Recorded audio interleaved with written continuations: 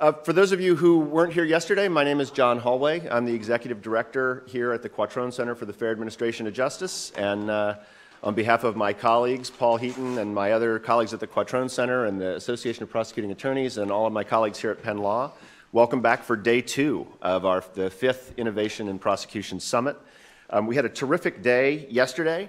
Uh, and I just wanted to start off by kind of touching on some of the themes that, that, that I thought came out of the various talks yesterday, and then I'll introduce our distinguished uh, keynote speaker. So, um, you know, I, I, thought today, yesterday was a pretty, a pretty fascinating day and a day where a lot of thoughtful prosecutors who are embracing the evolving and changing role uh, had some very insightful things to say. Um, Dan Satterberg from uh, King County on the West Coast started us off with, I thought, a really great challenge. And the challenge was to face up to the realities of the societal changes we're going through and the uh, conditions of you know long-term racial imbalances uh, that that our communities have faced and are and are increasingly voicing not to back away from that or avoid those difficult conversations because they are very difficult conversations, but actually to engage with our community, engage with our employees, the assistants in an office, the other members of the community, uh, and to recognize that the power of the office allows prosecutors some, some leeway to push the envelope, to, to try new things, and to embrace the role of social justice engineer that goes beyond the role of law enforcement officer. Uh, and and to, to do things, I think the way you put it, Dan, was to do things that make you feel a little uncomfortable.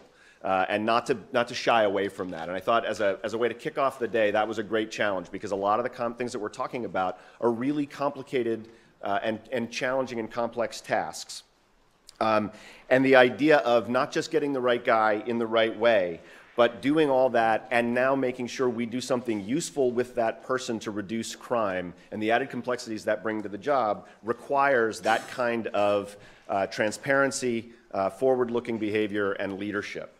Um, the, uh, in order to do that, I think one of the themes that came up was that prosecutors need more information and the, the quest for data uh, and the ways to use that data and the sources of that data need to come from beyond uh, the prosecutor's office a lot of times. Uh, DA John Chisholm talked about how prosecutors are uh, you know, maybe, maybe, uh, maybe not willingly, but nonetheless in the public health business as well as being in the prosecution business. Dan, you talked about we're dealing with neurochemicals, uh, and, and we have a lot of people in our communities who are injured and, and struggling, and law enforcement, both police and prosecutors, are put in positions that they didn't expect to be in when they took the job to try and deal with those people with compassion uh, and individuality and, and, and provide justice in that realm. And to do that, you need new kinds of information. And so I liked Rod Underhill's, I mean, it's a bad acronym, but I like the concept of PAVRON. Uh, professional, and by the way, he said it was a bad acronym. I'm not being critical here. Uh, doesn't, it doesn't mean it was a good acronym. So, professional judgment, accountability, victim input and impact, risk assessment, offense information, meaning information about the, the things charged, uh, and a needs assessment. And that all that information needs to come together to provide the kind of support for the members in our community who are committing crime that looks at the underlying reasons that cause them to commit crime, because very few of the people that we deal with in our communities are truly evil. And so, trying to figure out how to help those people avoid criminal behavior uh, is, a, is an important um, way to move forward. Um, theme number two, I think prosecutors are not in this alone and can't do this alone. Um, we talked about ways that prosecutors and defense attorneys can reach across the aisle and collaborate on projects, whether it's conviction integrity units uh, and their work, um, or, uh, or the things like the Treatment First program that Rod Underhill talked about, which includes an assessment, a pretrial assessment where uh, the, the, the defendant in a case, represented by counsel, sits down and answers some very direct questions about what that person, what, what assets, what support might help that person uh, deal with their addiction. And that information has to be carefully managed and corralled. And, and, Rod spoke, I think, very eloquently about the trust that's required between prosecutor and defense attorney to enable that kind of process. And how do we build that trust in an adversarial system? And I think that, that challenge is something that we'll have um, in other contexts. Another uh, place in which prosecutors will have to collaborate is, of course, with judges. And we talked about some of the challenges of working uh, with courts and with judges and, and, in the context of risk assessment. And um, you know, I want to quote Niels Bohr, the physicist, who said, predictions are very difficult, especially when they're about the future.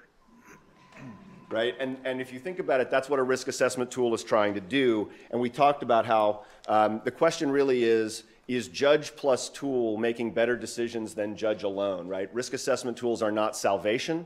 Uh, they're an asset to be used in decision making. Uh, and we also learned, and this is very important on the operational side, we learned from Jeff Bingham in Spokane that for God's sake, you should get a color printer if you're going to print out color graphs and ask judges to make decisions about it. There is a tool, by the way, that you can use to make triangles or squares or circles so that even if you don't have the color printer, we can discuss that later. I can show you guys that if you need it.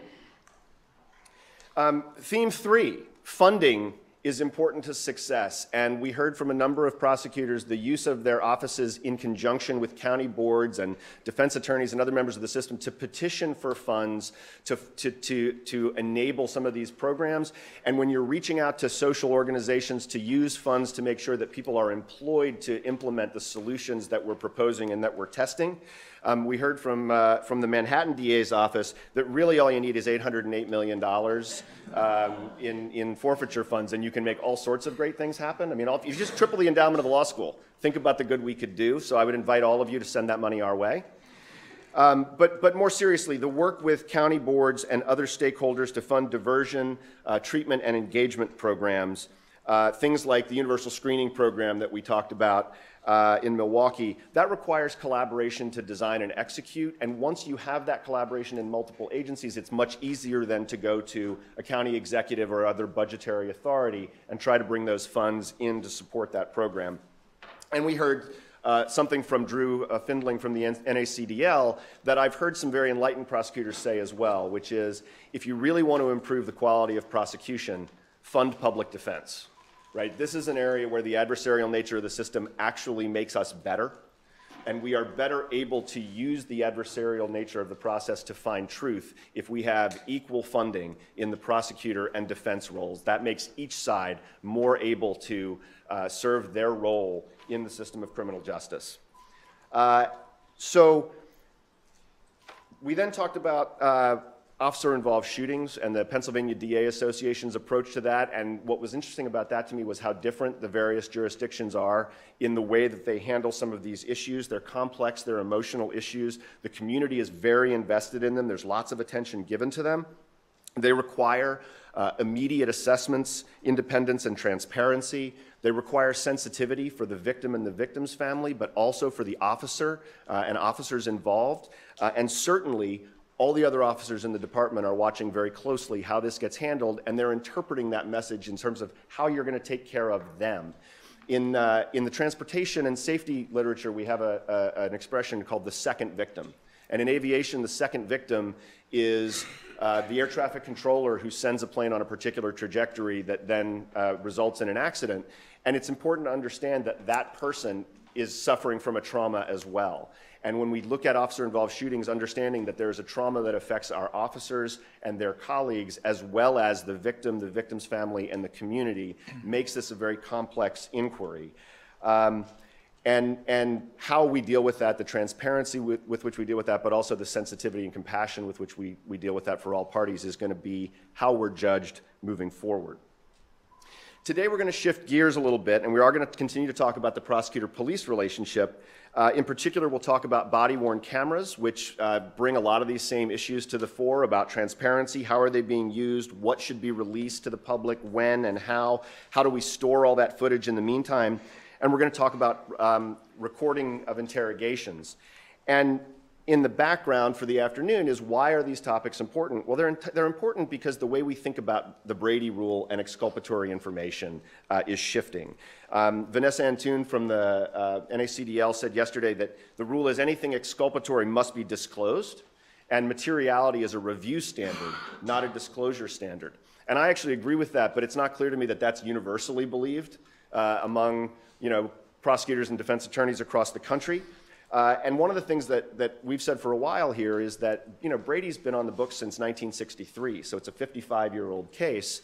And we continue to have these conversations about when are things material, what's materiality, when does it get applied. And again, I'll go back to the transportation literature, to Chris Hart, who used to run the NTSB. And Chris said, how many times are people going to have to trip over a step before you stop saying everybody's clumsy and you fix the step? Right? So when are we going to fix the Brady standard? Because if we're still having fights about what it means 55 years in, I don't think it's the people. I think it's the standard that's the issue. And so we'll talk about in one of our breakouts about the Michael Morton Act, which is how Texas has tried to solve that problem. They've tried to codify Brady, make it clearer, make it more objective. Uh, and we'll hear from Bill Wirskye, who lives in what he calls a post Brady world in which everything has to be turned over all the time. Uh, but the federal courts are making things interesting too with decisions like Alvarez versus Brownsville, where they talk about whether there is an obligation to turn over Brady material if the plea bargain that you are securing occurs before the discovery deadline. So think about that. You know you have exculpatory information, you haven't been told that you have a discovery deadline, and now you can get a plea bargain, and what's the role there? And it turns out we've got a circuit split, and so we can have that conversation this afternoon as well. Now, the police context uh, happens in other, in other areas too, such as whether we should be uh, gathering lists of police who've been subject to disciplinary actions. And uh, is that something that you're living with at all? So, litigation was filed in the city of Philadelphia on that very issue. Uh, and, uh, and so it's a topic uh, of, of, of, immediate urgency. Um, now, urgency is not something that academia is known for. Um, but my daughter gave me a, a, clock, and the clock hangs in my office. And at every section where there would be a number on the clock, my daughter bought me a clock that says now. And that could be because she's a 17 year old, and that's kind of the responsiveness she expects from me. Um, but I like to think that she gave it to me as a reminder that the work we do is really important, and the fact that um, uh, that there are people in need all the time, and there needs to be urgency in what we do. And so I was thrilled not only when D.A. Krasner agreed to come speak, but at the title of his talk, The Urgency of Now.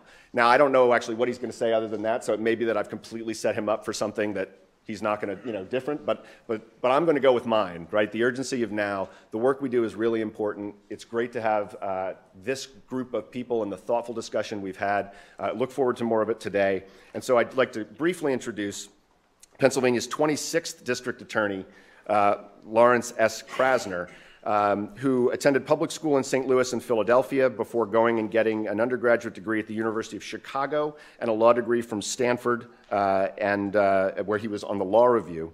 Um, he uh, received multiple offers of employment in prosecutors and defenders' offices throughout the country, but came to Philadelphia, uh, where he worked as a public defender from 1987 to 91 uh, and then in the Federal Public Defender's Office, 91 to 93. Uh, in 93, he started his own private practice, specializing in criminal defense and police misconduct matters, uh, and has remained in private practice since then, trying thousands of bench and jury trials in criminal and civil court in the Philadelphia area, as well as in other counties and states. Uh, throughout his career, he has proudly demonstrated a steadfast commitment to social justice uh, has, he's defended protesters pro bono who were involved with movement, movements including ACT UP, Black Lives Matter, the Progressive Clergy with Power, Casino Free Philadelphia, DACA Dreamers, Decarcerate Pennsylvania, uh, he, Heeding God's Call and Anti Gun Clergy, uh, and others. Uh, he's lived in Philadelphia for over 30 years. Uh, his wife has been a judge on the Court of Common Pleas for 17 years, and they have two adult sons. Uh, and we're absolutely thrilled to have him here today, uh, kicking us off and uh, leading what I think is going to be a great conversation for the rest of the day. Mr. DA.